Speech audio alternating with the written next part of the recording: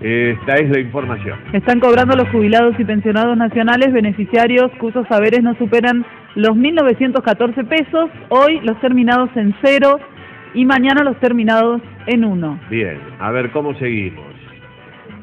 Están cobrando también los beneficiarios de la asignación universal por hijo, así tienen el esquema de pagos, hoy están cobrando los terminados en dos y mañana los terminados en tres. En tres.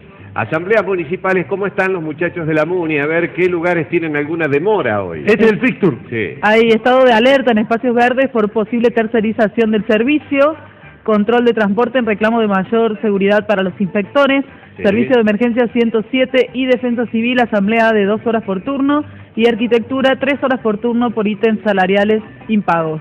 Bueno, muy bien. Bárbaro. son, estas son las asambleas municipales, es decir, los sectores que van a tener alguna demora. Hoy están inaugurando en algunos lugares el ingreso digital. Eh, a ver, para FIP, ¿qué pasa en la FIP? Desde las 9 de la mañana eh, no están atendiendo al público en AFIP, en Colón al 700, Colón 760, en rechazo a los aprietes a trabajadores.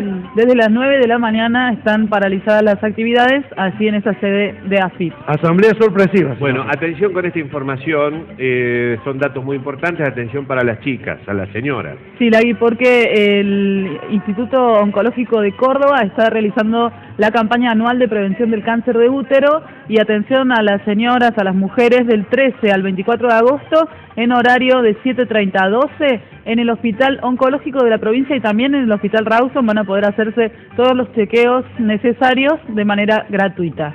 Bueno, muy Desde bien. el próximo está. lunes hasta el viernes 24. Exactamente. Hay que ir, las mujeres, aprovechen. las mujeres que no tengan miedo, que sepan las mujeres que prevenir es curar, Es que curar, tienen que es ir, curar. porque si agarran un cáncer recién empezado o un tumor recién detectado, cuando se empieza a desarrollar, tienen posibilidad de curarse. Pero el cáncer hoy se cura y si se agarra a tiempo. No se cura si como muchas mujeres, usted hace más de 10 o 15 años que no se hace un papo, claro. que no se que hace un es chequeo, vayan a esta campaña porque Sí. es gratuita la Es guía. gratuita, hay que No hay excusa. hay que aprovechar. No hay excusa. Bueno,